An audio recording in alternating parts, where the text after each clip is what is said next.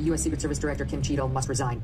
She was warned about this. She ignored the warnings. And then he doubles down. I want to repeat and can absolutely confirm the U.S. Secret Service Director Kim Cheatle has repeatedly turned down requests for a larger security footprint around President Trump, despite knowing the threat level is catastrophic. Resign tonight.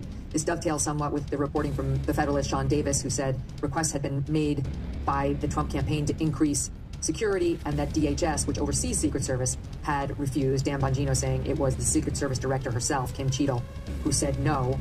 Um, where was she tonight? And what was her role in saying no to additional security for the most threatened man in America? To remind our audience, tonight in, but- but- in Butler, Pennsylvania, the former president of the United States was the attempted target, was the target of an attempted assassination. The bullet grazed his ear, inches, if not centimeters away from his brain. This is an image from a video. I had to blur out, obviously, what we know as the thing that he used to try and take out Donald Trump. But this is him right there on the roof of that building lining, right up with Donald Trump. There's actually a video that you can find online if you go search for it, where somebody standing behind, find them, is yelling at the Secret Service, telling them that they see the guy on the roof, and the Secret Service does nothing before it's too late. Now, this is the diagram of where the building was that Thomas was on top of right there. And this is where the stage was, where Donald Trump was located at. So he had a direct line of sight to Donald Trump. This another view right here, the aerial view. That is where the stage was right there. And that building is where Thomas was located at. And then that white barn right there, that's probably where you've seen that Secret Service agent on the roof. He's the one that actually took Thomas out. Now, the FBI did have a press conference and didn't release any other information besides he is from the Pennsylvania area. He's 20 years old, and this is the man that tried to end Donald Trump's life. He has been taken out, and he is unalive. And you know, that's what he's going down! That the up the roof, And he had a gun, right? he had a rifle. We could clearly see him with a rifle. Absolutely. Um, we're pointing at him. The police are down there running around on the ground. We're like, hey man, there's a guy on the roof with a rifle. And the police were like, huh, what? You know, like, like they didn't know what was going on. You know, we're like, hey, right here on the roof, we can see him from right here. We see him. You know, he's, he's crawling. And next thing you know, I'm like, I'm thinking to myself, I'm like, why is Trump still speaking? Why have they not pulled him off the stage? I'm standing there pointing at him for, you know, two or three minutes. Secret Service is looking at us from the top of the barn. I'm pointing at that roof, just standing there like this. And next thing you know, five shots rang out. So you're, you're certain that the shots came from that guy on the roof? 100%. 100%. And he, he was up there for a couple of minutes. He was up you there. saw him up there for a couple of minutes. Absolutely. At least three to four minutes. And you were telling Yep. the police and the Secret Service. We were telling the police, we were pointing at them for the Secret Service, who were looking at us from the top of the barn. They were looking at us the whole time we were standing by that tree. Could they see him? Binoculars. Could they see him? Probably not, because the roof, the way that the slope went, he was behind where they could see. But but why is there not Secret Service on all of these roofs here? I mean, this is not a big place. Did you What happened?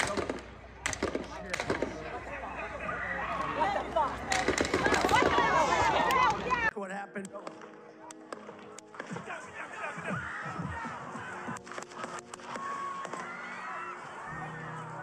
So I ain't seen nobody say nothing about it yet, but why is it on the Trump assassination stuff on the news? Why they keep covering up the water tower? They're either cutting the water tower out of the frame, or they're just like putting a white tag over it and trying to block it. Well, don't look at this big tall water tower that we could have used. Here's two examples of them covering it up or cutting it out of the frame, and then I'll show you where the water tower's at.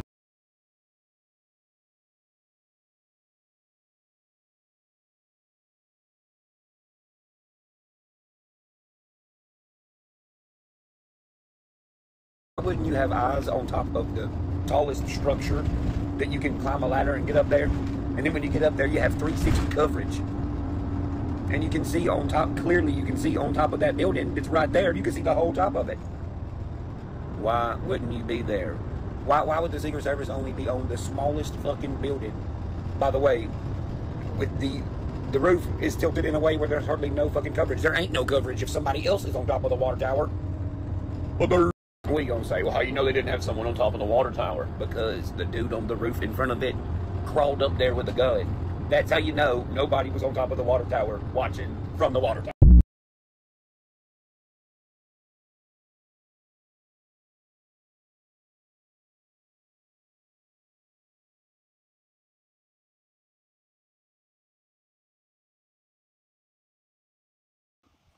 This is a maximum alert concerning the future of our country, our republic, and the world. The Secret Service stood down. It is the default to have Secret Service and or law enforcement on every rooftop up to a half mile out or further. Those rooftops were 450 feet away. No one was on the rooftops. That is not a failure of security. That is a stand down. Now, let's be clear. JFK gave the order to start the withdrawal of U.S. troops and one month later had his head blown off in Dallas, Texas in 1963 at Dealey Plaza. Trump has said he will end the war in Ukraine overnight. The U.S. funds 80% of it. He has that power he's president of the United States. And I told you this week over and over again that they're going to try to assassinate him before the election, and then during the 79 days that he's president elect, until he gets sworn in in January of 2025, is the 79 days of hell. The globalists have already said they're going to have civil unrest. They're going to call it a racial civil war. So let's be clear. Trump will now win in a landslide. No amount of fraud can override this. So if the deep state has already tried to kill him and indicted him and found him guilty and tried to take him off the ballot, what are they going to do? They are going to try to kill Trump. Now, listen to me carefully. I've studied the enemy. My predictions are 98% of the time accurate. And I'm saying this so we can be ahead of this and stop it. The next thing they're going to do is try to poison him and claim it's natural causes. It's going to be extremely, extremely uh, vigilant. They'll also try to use a truck bomb. Okay? And if he goes back out in public, the same Secret Service that stood down is going to do it again. Now, the average Secret Service agent isn't part of this, but it's from the top, from the Biden administration. Just by only giving him a few Secret Service, that would happen. But the fact that they didn't have law enforcement that augments them on the rooftops is just insane. That's the number one place that shooters come from is nearby rooftops. That's just a default fact. Ladies and gentlemen, they also haven't given RFK Jr. any Secret Service. They murdered his uncle and his father. The same deep state. So Trump is in maximum danger of poisoning, truck bombs. The globalists might hijack a plane by remote control, flight into Mar-a-Lago. I'm not being alarmist, and I know Trump's tough and has ice water in his veins, but Trump should be in a bunker at this point, and he should directly be charging the deep state for what they've done and call for governors to, to move, Congress to move, and to start dismantling the deep state right now. Uh, these people are not going to stop. Okay? And I told you, if they kill Trump, the next move would be a truck bomb or something like that at a black church or a black college to blame it on Trump supporters. And, and you saw the media try to spin this for the first five, six hours saying it wasn't even an assassination attempt. They were ready for this, ladies and gentlemen. They were ready and they were going to spin this. So I'm not being alarmist, I'm being a realist.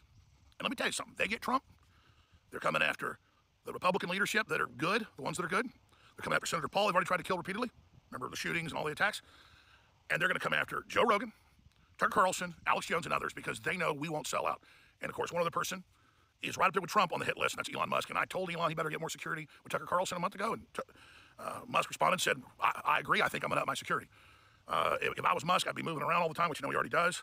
He's already had a couple people try to kill him this year. And you know they're winding up these mental patients right now. But I'm telling you, when the shooting doesn't work, they go to poisoning and they go to truck bombs. Or they remote control hijack a jet and fly right into your house. Okay? This isn't a game. This is 100% real. And people be, need to understand that. And all the new airplanes and all the new cars already have remote control systems in them. So I told people about this decades ago. They didn't even understand that it was possible, even though it was in most cars then. Now it's in everything. So so they could take control of a vehicle. He's in by remote control. Everything is on the table. Okay. This is 100% the most dangerous position our country's ever been in. And the globalists want full war with Russia. Remember, they already shot the Slovakian leader five times and he barely lived. Uh, Orban knows he's on a hit list because he's not a madman and he wants peace.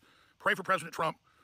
Pray for Elon Musk. Pray for InfoWars and be as active as you can right now and, and understand they've got operatives from the Secret Service and the feds all over talk radio saying, oh, we're going to find out what happened, the failure, we're going to fix it, he'll be safe next time. No, he's not safe. He's not safe. Okay? So the Secret Service that gave the orders not to build those rooftops, they need to be taken in and they need to be interrogated right now.